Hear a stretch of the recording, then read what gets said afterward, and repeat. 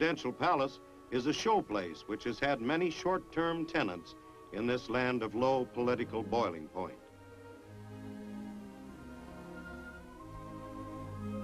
Panama has no official army at her command. A police force